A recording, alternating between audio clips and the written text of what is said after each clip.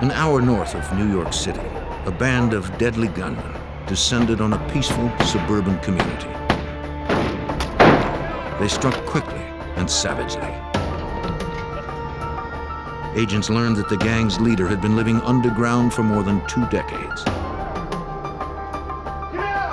The FBI's New York Anti-Terrorist Task Force hoped they could find this most wanted fugitive before he killed again. A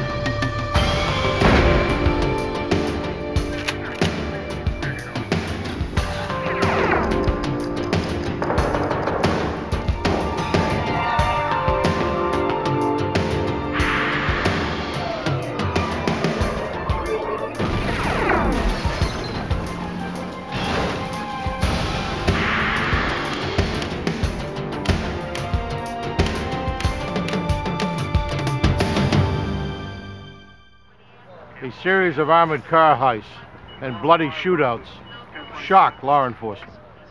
The brutal violence of the crimes suggested a motive more complex than greed. When the robbers started targeting police, the FBI took charge. I'm Jim Kallstrom, former head of the FBI's New York office. Agents would expend thousands of man hours to stop an armed gang that terrorized New York.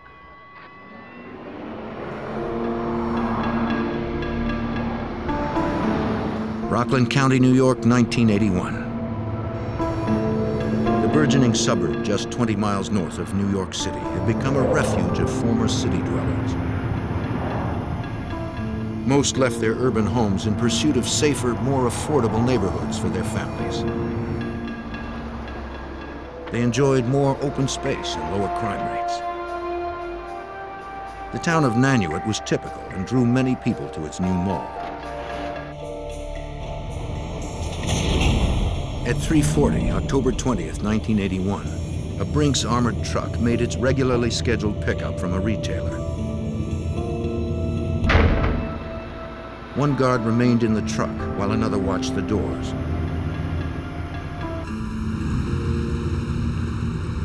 The third returned with cash and receipts.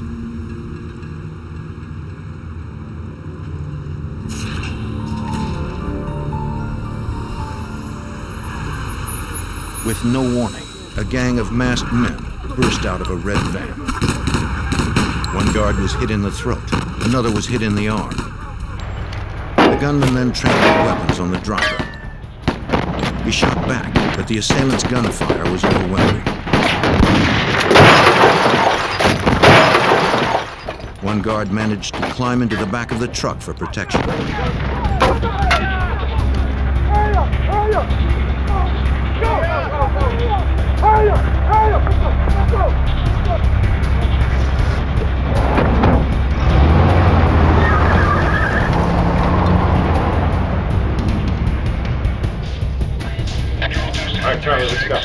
Police Chief Alan Colsey of the South Nyack Grandview Police Department was five miles away when he received the call.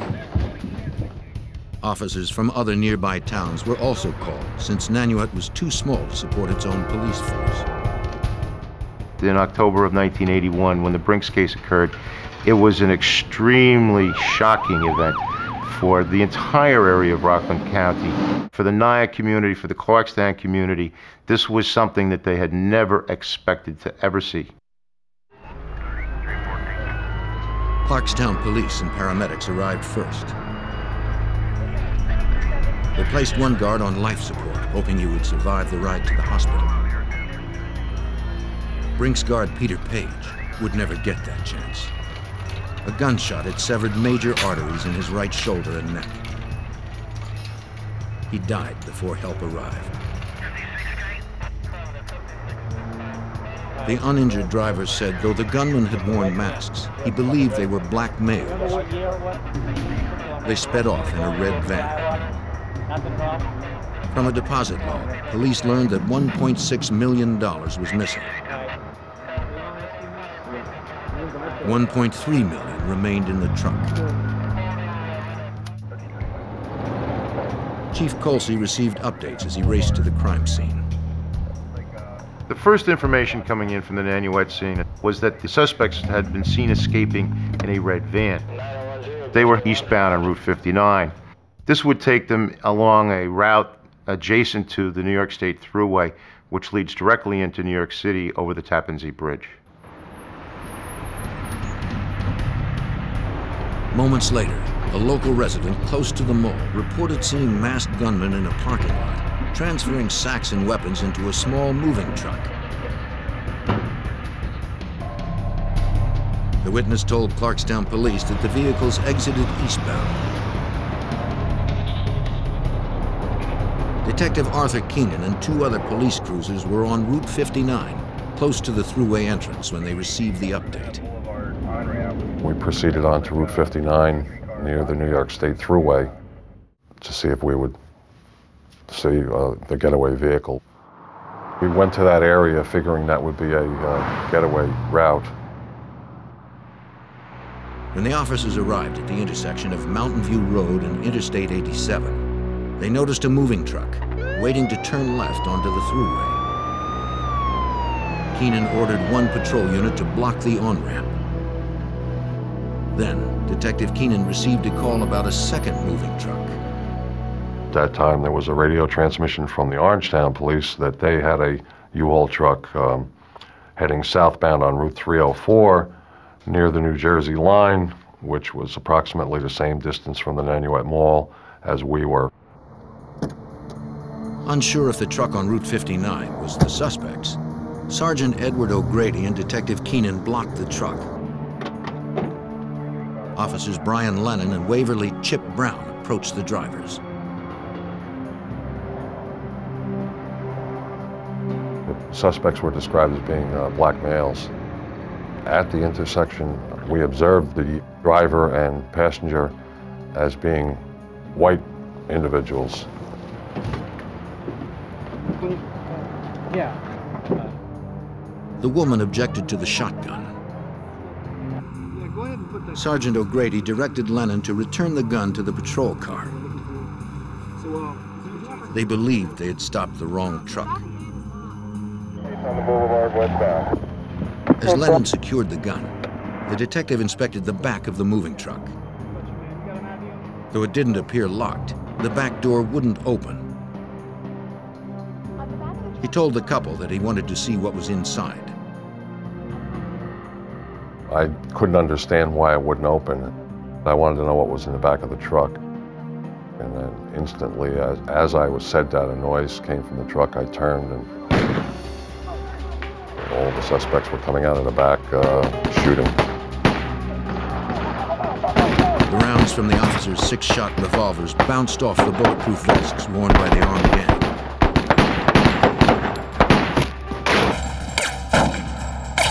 Officer Lennon rushed back to his patrol car for his shotgun. Officer Brown was shot in the neck and shoulder and fell to the ground.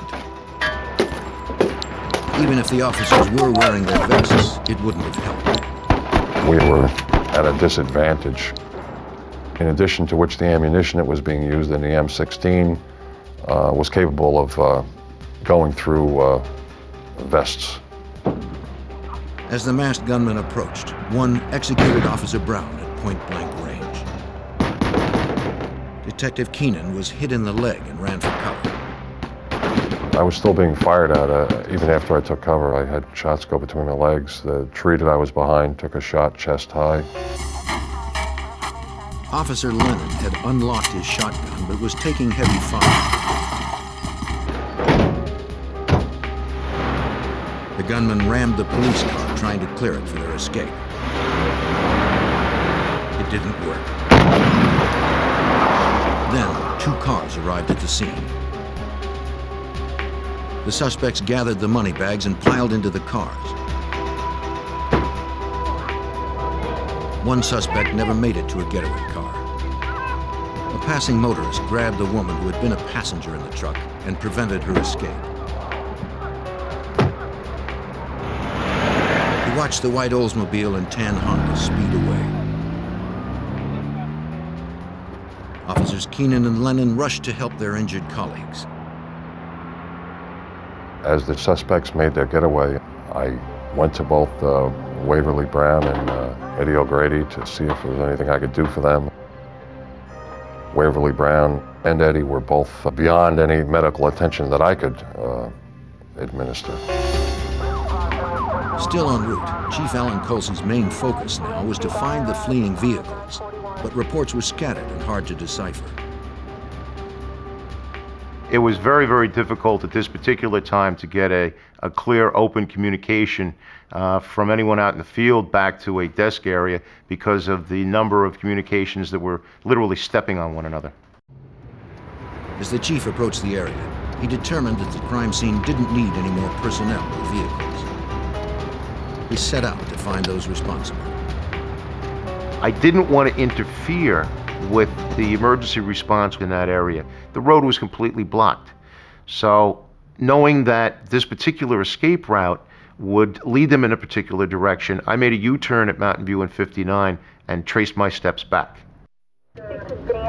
He figured the suspects would travel towards New York City, where there was potential for a greater loss of life.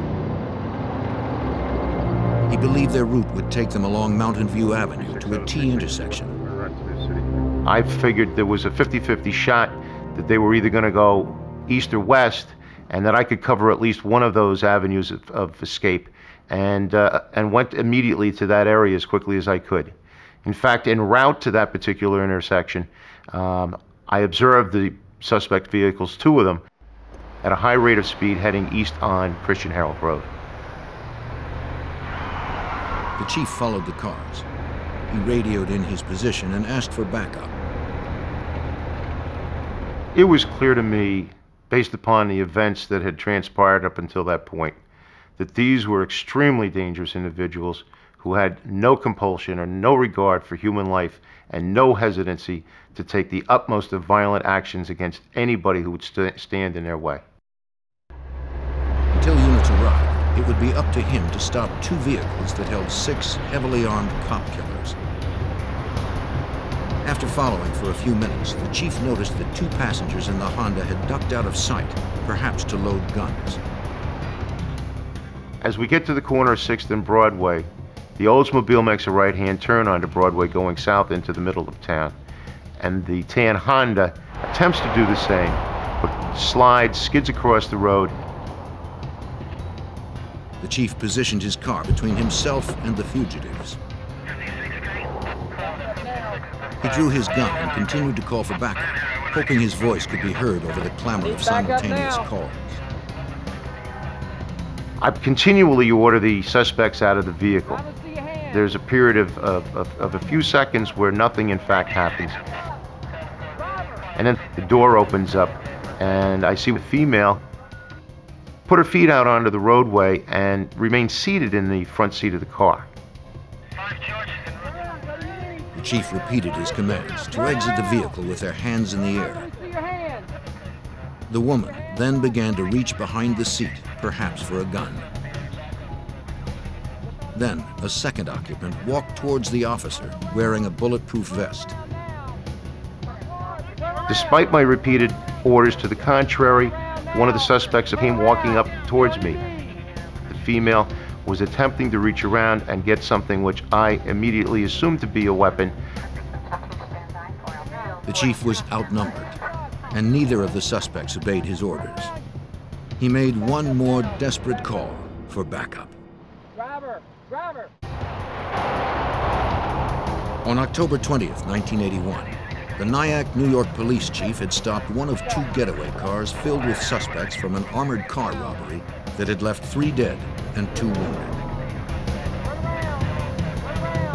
As he continued to call for backup, one suspect reached behind her seat.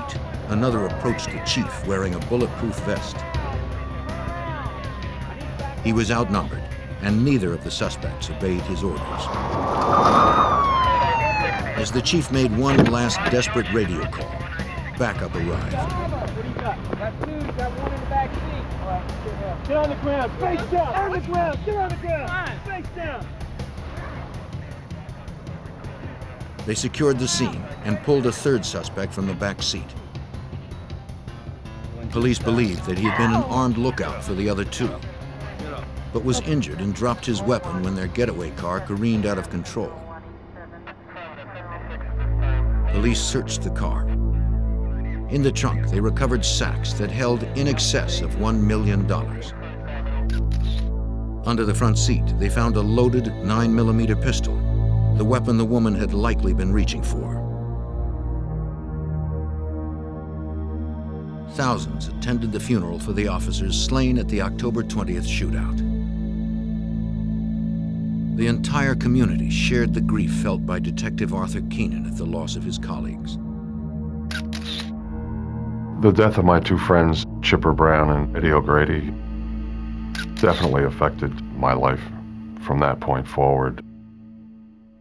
When you're in a small community like that, in a small police department like that, you uh, you go to each other's weddings and christenings and barbecues and things of that nature, and it, it becomes a like a secondary family of sorts. And uh, so it was very devastating to uh, lose two of two of your good friends. The four murder suspects, including the woman captured at the roadblock, maintained their silence while arraigned at Nyack Village Hall. Police had no way to know how many more were still at large. The law enforcement community in Rockland County was taken greatly by surprise by the sequence and magnitude of the events. This was really a small assault team that, that came to Rockland County to, to rob this, this Brinks truck, and it was, it was a, uh, a magnitude and a seriousness and a, a firepower that had never been seen anywhere in the law enforcement community here. If Nyack police were not used to such violence, 30 miles south in New York City, the FBI and New York City police certainly were. The New York Joint Terrorism Task Force had already been investigating a series of armored car heists throughout the region that had been executed in a similar fashion. Now retired Special Agent Lou Vesey was a member of that team. He believed the Nyack robbery was connected to the others. The people who had done Nyack had to have some involvement with all these other crimes. I mean, because the MO was absolutely identical. Uh, the whites were driving the vehicles, the blacks had done the robberies, the, uh, the weapons that were used were identical to the weapons that had been used in the other in the other robberies we were looking at. So there was no doubt in anybody's mind that this was the at least some of the same group. The suspects were processed at the Rockland County Jail. When asked for their names, all gave aliases, except one. Judy Clark, arrested in the getaway car, was no stranger to the FBI. To agents, she was known as a member of the Weather Underground, a radical group involved in many violent robberies and bombings in the 1960s and 70s. For the Brinks robbery, she would be sentenced to 75 years in prison. Special Agent Lou Vesey was an expert on the Weather Underground. One female I recognized immediately as Judy Clark, who had been someone who had been under investigation previously by us as a possible terrorist. There was another female there who I, who I thought looked very familiar. Agent Vesey suspected the woman arrested at the roadblock was Kathy Boudin, another member of the Weather Underground. A fingerprint check confirmed it. Boudin pled guilty and was sentenced to 20 years in prison for acting as a decoy passenger in the moving truck. They discovered one of the men to be David Gilbert, Boudin's common-law husband, who was also a member of the Weather Underground. He received 75 years for his role. Sam Brown, who had been injured in the getaway car, was an associate of the Black Liberation Army, another militant group. Like Gilbert and Clark, Brown was sentenced to 75 years in prison. Four members of the gang were behind bars. From survivors' statements, agents estimated at least seven more were out on the streets. Special Agent Ken Maxwell joined the investigation to help determine who and where the remaining fugitives might be. One new lead held promise. The second getaway car had been found a few miles away. The Oldsmobile was found in Westchester County, dumped or abandoned. Inside, there was a great deal of blood, indicating that whoever had uh, abandoned the vehicle had been wounded during the shootout. Agents checked local hospitals for gunshot victims. They found no patients whose whereabouts were unaccounted for on the day of the shootout. Other cases, the bombing cases, The Oldsmobile was registered to a woman at an apartment on Prospect Street in East Orange, New Jersey.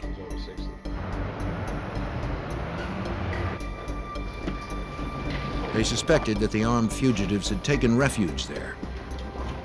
Agents obtained a search warrant.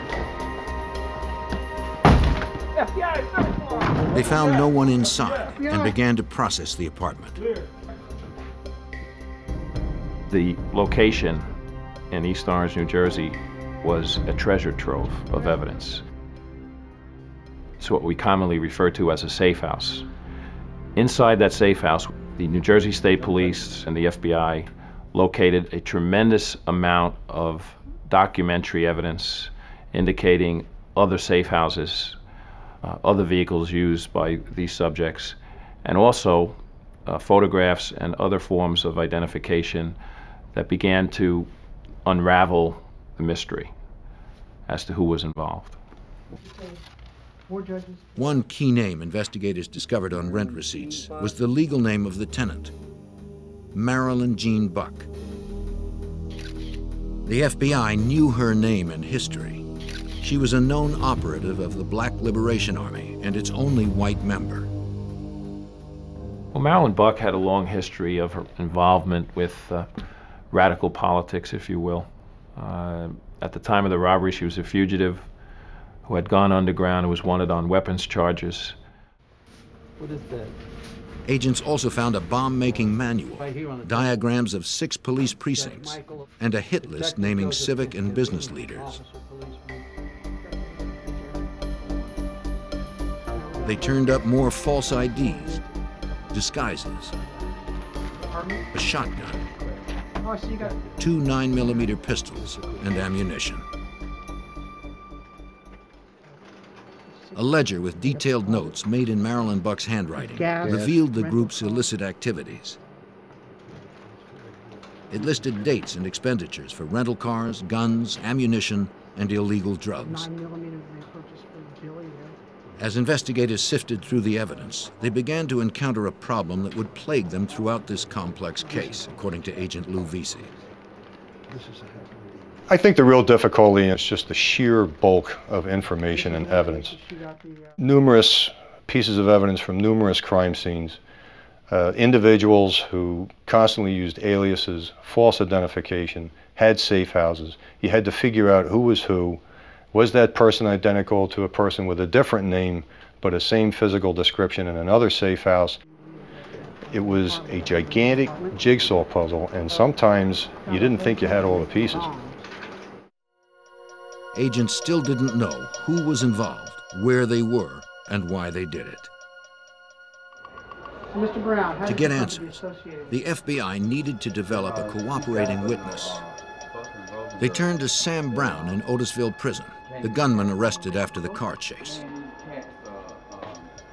He was a low-level associate of the Black Liberation Army. Brown cooperated in the hopes that his sentence would be lightened. Sam Brown was the only one who decided to talk to the investigators. He really got us started. He's the one that named a few names, and with those few names, that's where the investigation began widening out to the rest of them. So he was very important. The most valuable name Brown provided was that of the mastermind behind the armed robbery, Mutulu Shakur. Shakur was a known militant the leader of the Black Liberation Army and one of the highest ranking members of the gang who called themselves the Family. The Family was a group of about a dozen terrorists comprised primarily of members of the Weather Underground and Black Liberation Army. Their formal association was news to Agent Maxwell. We had known from prior investigations in the past that these groups had communicated that they had some common uh, goals and objectives.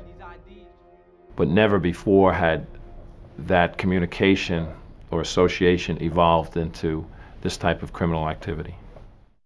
All right, well, listen, uh, Sam. Brown told agents that the family met on many occasions to plan the Nyack robbery. Mutulu Shakur assigned jobs to each member of the group. You know what to do with that? Yes, sir. Edward Joseph and Donald Weems were assigned as gunmen in the armored car assault. The FBI knew Weems was a member of the Black Panthers and the Black Liberation Army. He had escaped from prison in 1978. Investigators knew little about Joseph. Another man named Chui Ferguson would handle the M16 assault rifle. Y'all ready? Y'all ready? Samuel Lee Smith would be armed with a shotgun.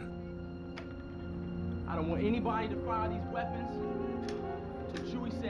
weapon man, all right? Brown didn't know the names of the others, but provided agents with physical descriptions.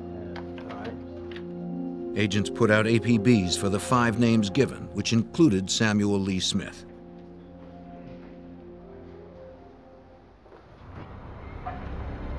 In Queens, homicide detectives were on their way to Smith's last known address.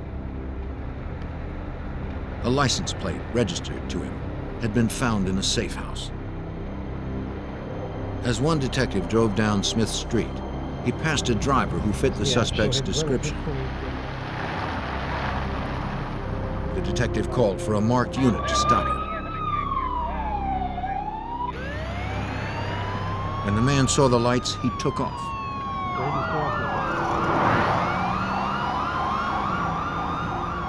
Police followed him into an alley.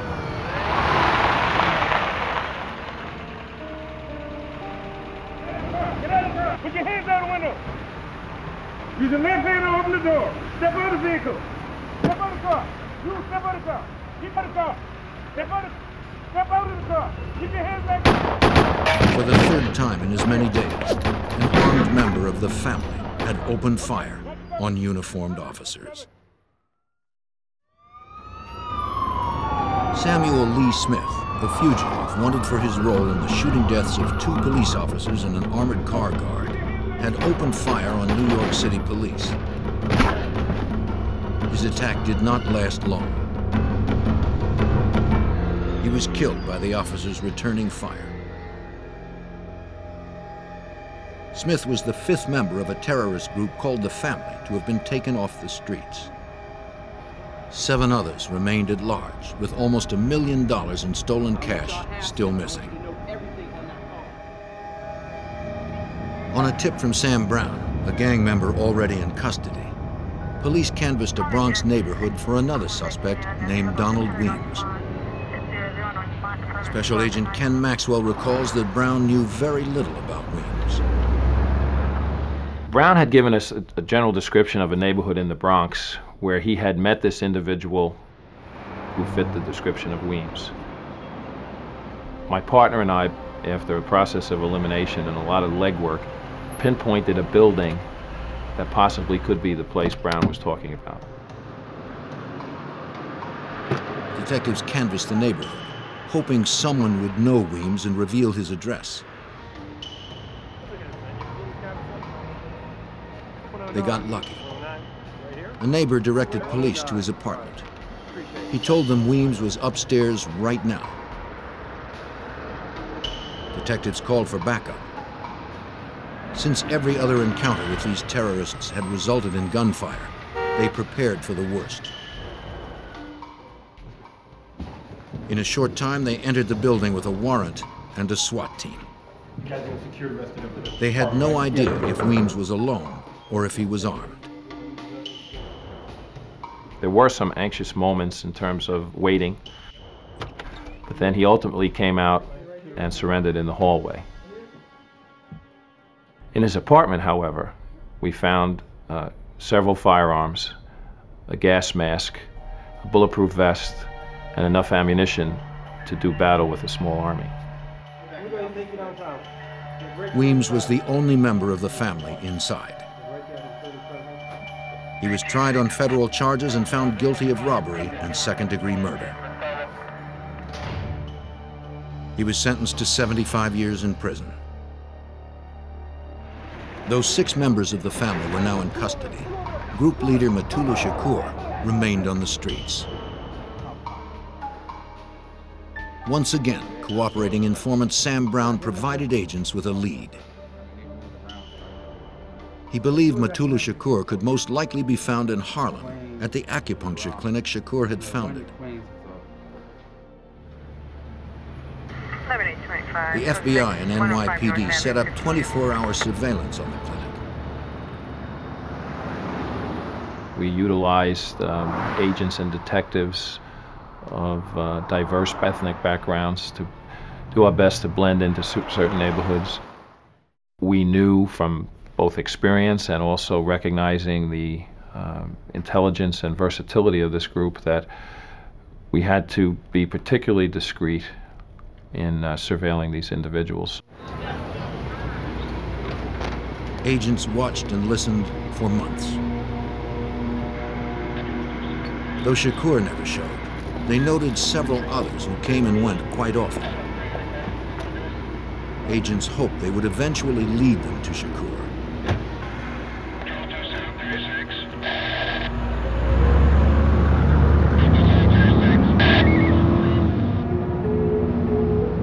One night, agents followed a man from the clinic to a house at 85 Barrow Street in Greenwich Village. They learned the house was rented to Edward Joseph, one of the suspects named by informant Sam Brown in the Nyack robbery and shootout.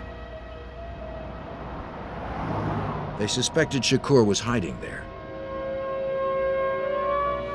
They were right. Their months of perseverance had paid off. A federal judge authorized a Title III. This permitted agents to set up wiretaps and bugs. Shakur and Joseph must have suspected the FBI's presence, since they often turned up the TV when they talked. Despite this, agents were able to pick up snippets of incriminating conversations, including a discussion of killing informant Sam Brown.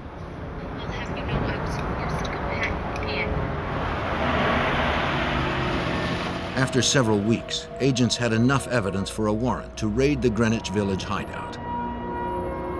On the night of March 25, 1982, six months since the murders and robbery in Nyack, agents prepared for the assault. They'd strike early the next morning, hoping to catch the fugitives asleep and unaware. As the agents watched and waited, they saw Shakur enter the house.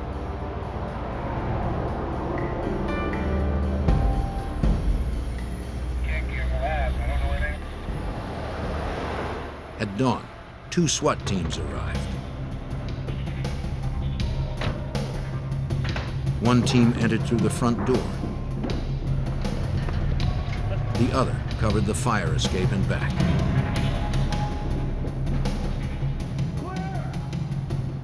They arrested two men, Chui Ferguson and Edward Joseph, both named as participants in the Nyack Their leader, Mutulu Shakur, was nowhere to be found. Somehow, he'd escaped during the night, slipping past the surveillance.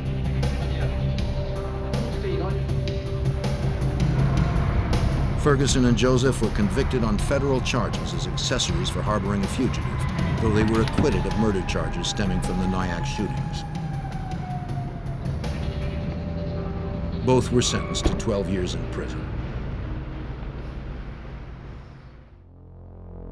On July 23, 1982, almost a year after two officers and a guard had been killed in the Brinks robbery, Mutulu Shakur was placed on the FBI's 10 most wanted list finding the leader of the gang responsible for three cold-blooded murders would now become a priority for every FBI office across the country. Almost a year after a Brinks robbery and shootout with police, FBI agents around the country continued to pursue the mastermind behind the million-dollar heist. Mutulu Shakur, a leader of the terrorist group called The Family, had been placed on the FBI's 10 most wanted fugitives list. Shakur and at least three others remained at large. In the summer of 1982, an agent from New York City traveled to Georgia to interview a member of the family who had been arrested for a separate bank robbery. Tyrone Rison offered his cooperation in the hopes of a lighter sentence by the state of Georgia. Though he claimed that he was not present when the armored car was robbed in Nyack, New York, he confessed to having helped plan the job that left a Brinks guard and two police officers dead. Rison provided crucial information about other members of the family.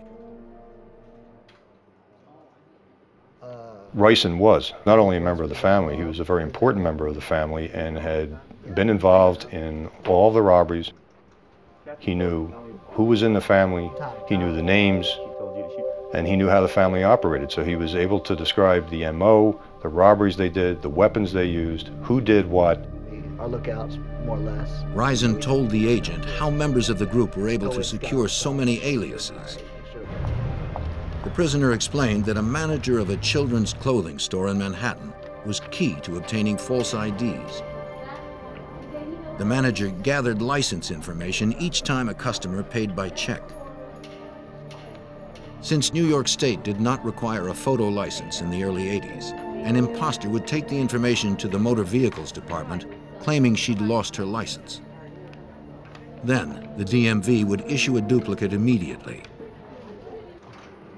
Rison also described to Special Agent Maxwell the group's motives. They termed these robberies expropriations, almost acts of war. And as one of their members eloquently, or not so elo eloquently, commented one time, in war, people get hurt. So when, if you can understand that philosophy, you can understand the, the mindset or the motivation behind the gang. Rison's information helped agents understand more about the inner workings of the group. But by the fall of 1984, three years after the Brinks heist and triple murder, three fugitives still eluded the FBI, including gang leader Mutulu Shakur, Marilyn Buck, and Susan Rosenberg. Despite this, time was on the side of the FBI. The longer the fugitives ran, the more likely it was they'd make a mistake. On November 29, 1984, local police received a call from a manager at a storage facility in Cherry Hill, New Jersey.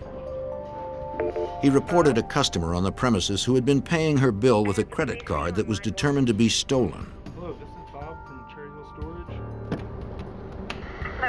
Officers arrived to find the woman about to leave.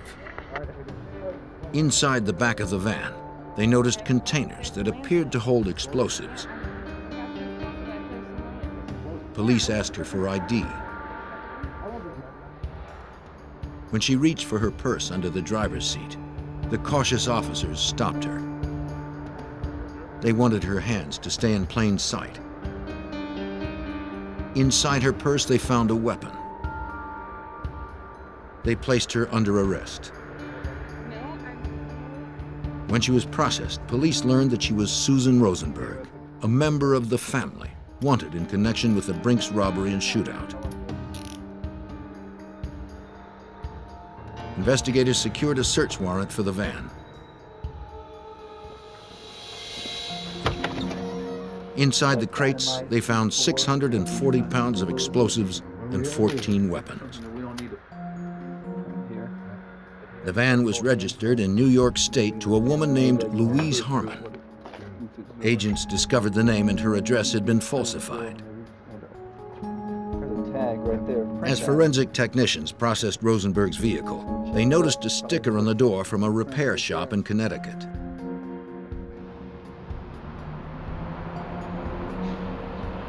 Agents located the New Haven repair shop where the vehicle had been serviced. They hoped the owner would remember the persons who had brought the van in. They showed the owner several photographs of women who were known associates of the family. The woman he identified was Marilyn Jean Buck, one of two remaining fugitives in the Brinks robbery and shootout. While Buck had not used her real name on the vehicle's paperwork, she listed an address in Dobbs Ferry, New York on the repair bill.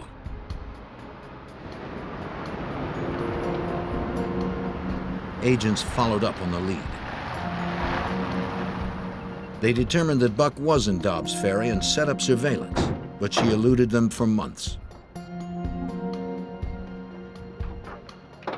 Then on May 11, 1985, they finally cornered her outside a diner and arrested her.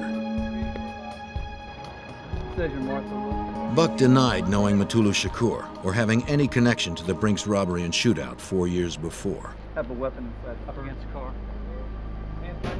But a federal trial would prove differently. Buck was sentenced to 50 years in prison without the possibility of parole. She was extremely important in the planning of the robberies um, and in the procurement of the weapons, as it turns out. A lot of the weapons that the family had, she obtained in gun shows in Texas, buying them under phony names. Now, only one known suspect in the Nyack robbery and shootout remained terrorist leader Mutulu Shakur. Do you happen to see anybody with him? Agents searched a Baltimore apartment rented by Buck, hoping for a lead to Shakur's whereabouts. They discovered paraphernalia for making false identity papers, wigs likely used in disguises, plans to bomb federal offices, and $10,000 in cash. Searchers also found guns and ammunition stashed in various locations throughout the apartment. And looks like another handgun. Then, scrawled on a piece of paper, agents came across what they'd been hoping for evidence of Mutulu Shakur's whereabouts. It listed a phone number in Los Angeles. Special Agent David Mitchell spearheaded the search for Shakur. He contacted the FBI Los Angeles field office to have agents follow up the lead.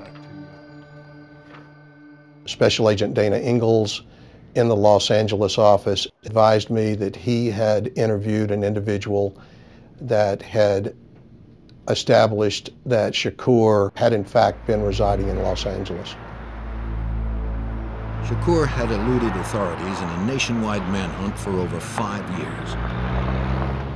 Agents hoped that this time they could corner him and bring down the leader of the terrorist gang responsible for killing one armored car guard and two police officers. The FBI and NYPD were closing in on Mutulu Shakur, the elusive criminal believed to have masterminded a deadly Brinks robbery and shootout.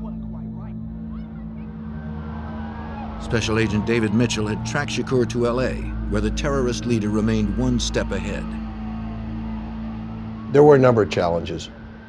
Shakur was working with a group of individuals that were closely aligned to each other they had a support network. The um, investigators, all assigned to this investigation, were having a difficult time getting individuals to cooperate. After many weeks, investigators were finally able to convince an informant to tell what he knew about the fugitive's whereabouts. He said he didn't know where Shakur was hiding, but he identified a man by the name of Chapman, known to be close to Shakur.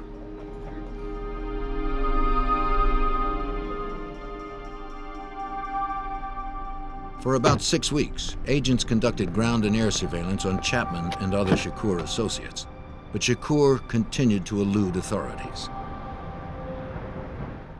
Shakur was leading a very low-profile life in Los Angeles, at least as far as our investigation could determine.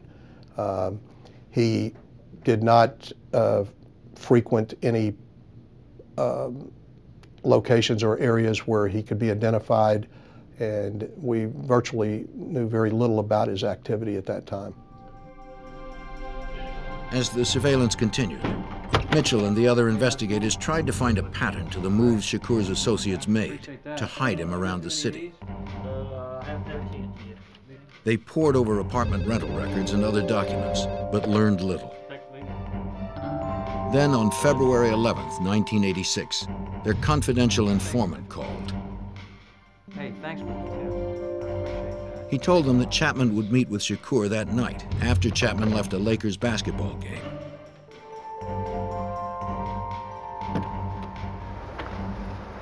Investigators located his car and waited for him to leave the forum.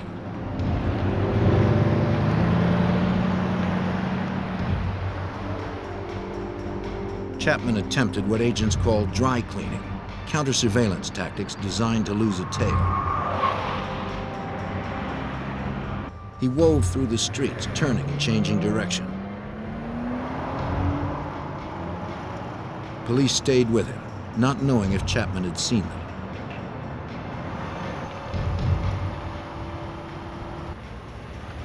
When Chapman reached his destination, Mitchell's team pulled in nearby.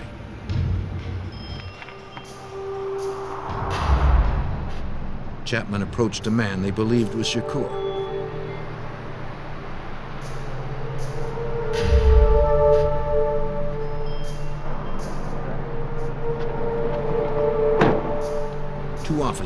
To where the men were talking, careful not to attract attention. When Shakur saw them, he took off on foot.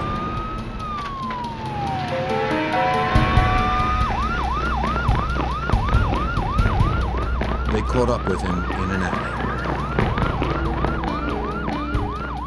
The arrest of this violent revolutionary closed a five-year nationwide manhunt.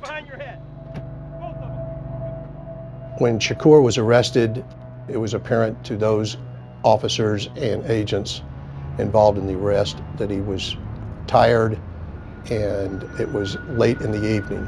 He was transported to the Los Angeles FBI office where Agent Ingalls and I attempted to interview him. Shakur declined to furnish any statement to us during this interview and uh, was subsequently removed back to New York City to face the charges. In the spring of 1986, Shakur was tried on federal charges related to the Brinks robbery and shootout. He was sentenced to 60 years in prison without the possibility of parole.